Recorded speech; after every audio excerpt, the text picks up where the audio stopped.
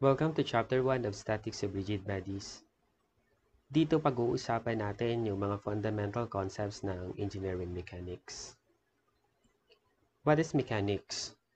Mechanics is a branch of physical sciences that is concerned with the state of rest or motion of bodies that are subjected to the action of forces. Meron tayong tatlong branches ng engineering mechanics.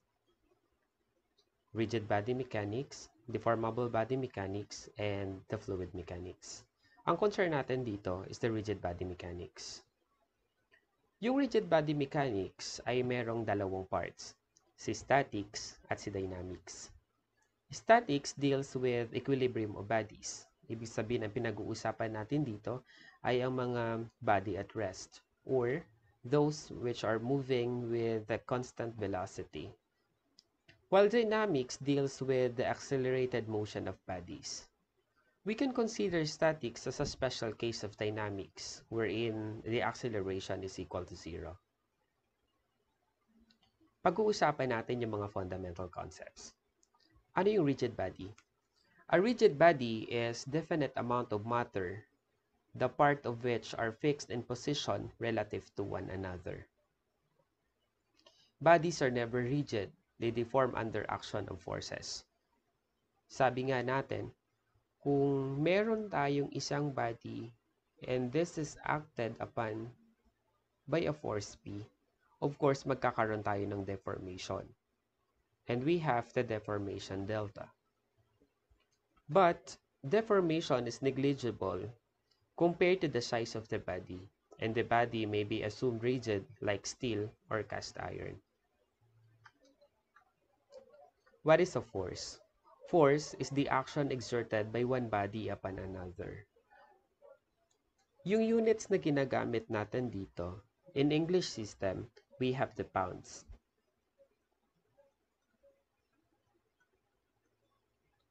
Or, ginagamit din natin yung kips. What is kips? Ang ibig sabihin ng kips ay kilopound.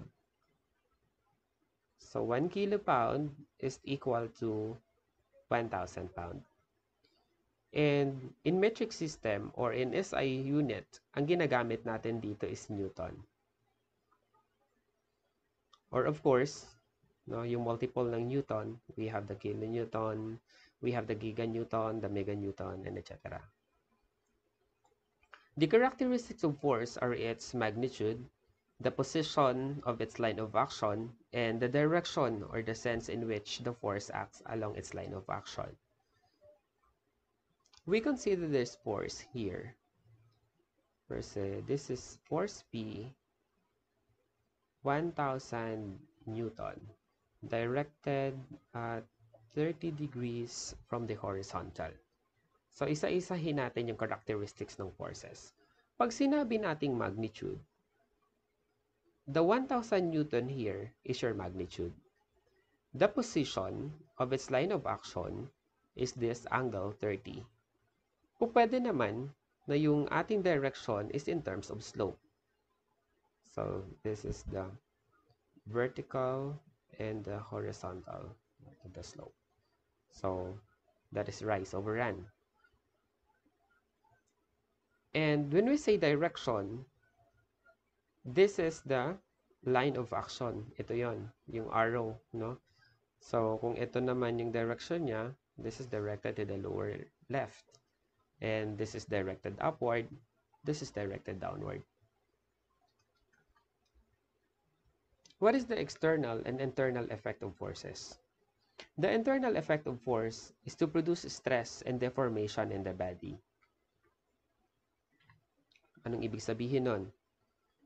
So, sabi ko nga kanina, kung meron tayong body, in consideration, that is the force P. So, that P is a compressive force.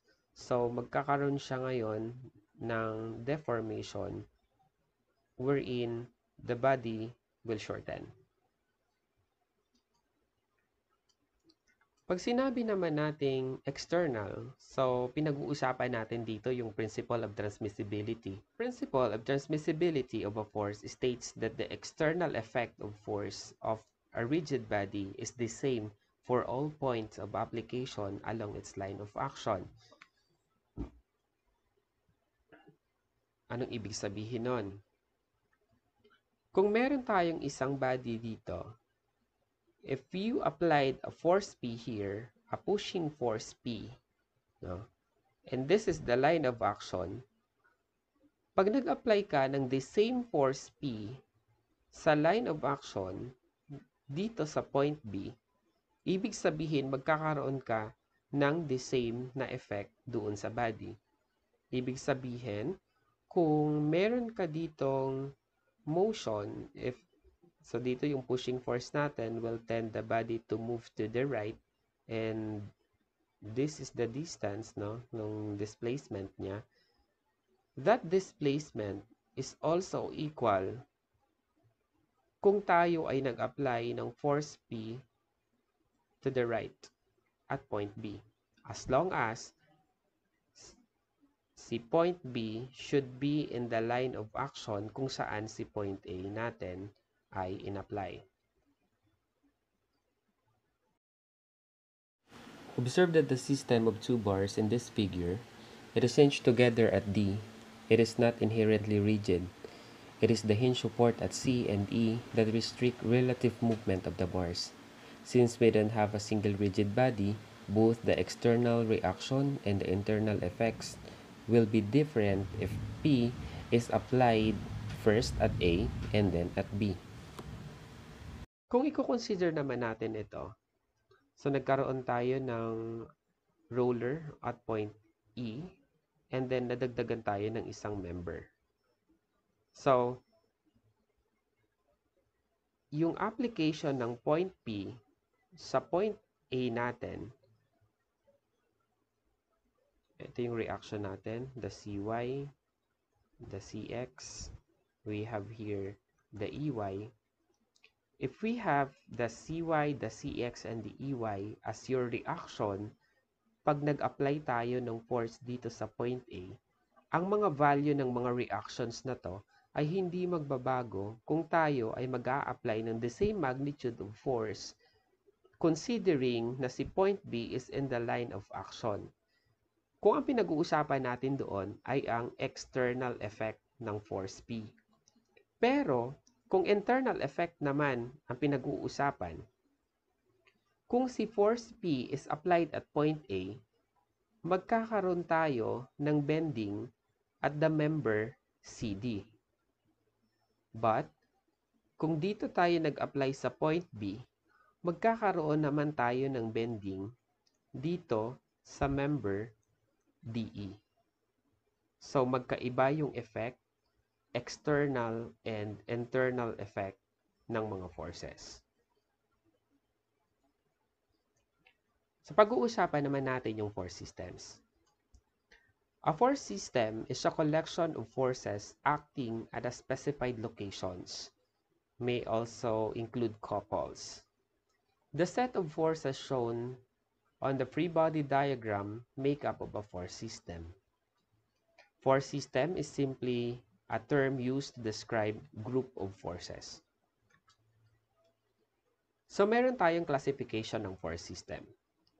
Una is according to the plane. So this is according to plane.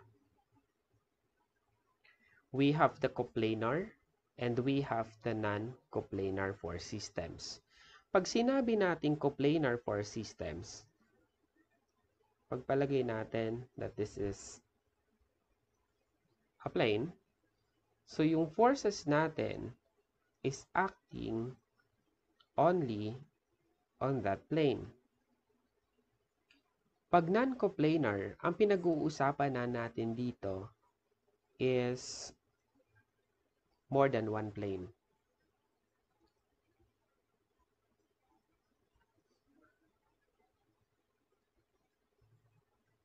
Kung meron kang force dito, F1, you have another force here, F2, kung titingnan natin, si F1 and si F2 are coplanar. Pero kapag nagdagdag pa tayo ng force dito, that is force 3, and another force here, force 4 or F4. So this system now is non-coplanar. We can also classify the force systems according to the line of action. According to line of action. So we have the concurrent, parallel, and non-concurrent. Ano pinagkaiba nun? Pag concurrent, ibig sabihin, nagmi-meet sila at one point. That's concurrent. Or pwede tayo magkaroon ng concurrent forces na hindi obvious. So halimbawa, this is the force 1 and we have here force 2 and force 3. So, kahit nakikita natin dito na hindi sila nagmi-meet, pero yung line of action nila is directed toward this point, so meaning that could be considered as a concurrent force system. Pag sinabi naman nating parallel force system, simple lang. So, itong dalawang force na to is parallel with each other. So this is P1 and this is P2. Non-concurrent force system naman, ibig sabihin ay hindi sila nagmi-meet. So this is F1 and this is F2. And another point here, meron tayong isa pang P dyan. So this is a non-concurrent force system. As a recap, So, force system can be classified according to the plane. It's either coplanar or non-coplanar. Or according to the line of action, force system could be concurrent, parallel, or non-concurrent. And pag-uusapan naman natin to. So, we have the coplanar. Under the coplanar, pwede tayo magkaroon ng concurrent, parallel, and non-concurrent. So meaning we could have the coplanar concurrent force system, coplanar parallel force system, coplanar non-concurrent force system. So under the non-coplanar, or since this is three-dimensional, we are also referring this as spatial. We have the non-coplanar concurrent force system, we have the non-coplanar parallel, non-coplanar non-concurrent. So we have here a sample of a coplanar concurrent force system. This is a coplanar parallel force system. This is a coplanar non-concurrent force system. This is a non-coplanar concurrent force system. Non-coplanar parallel force system and non-coplanar non-concurrent force system.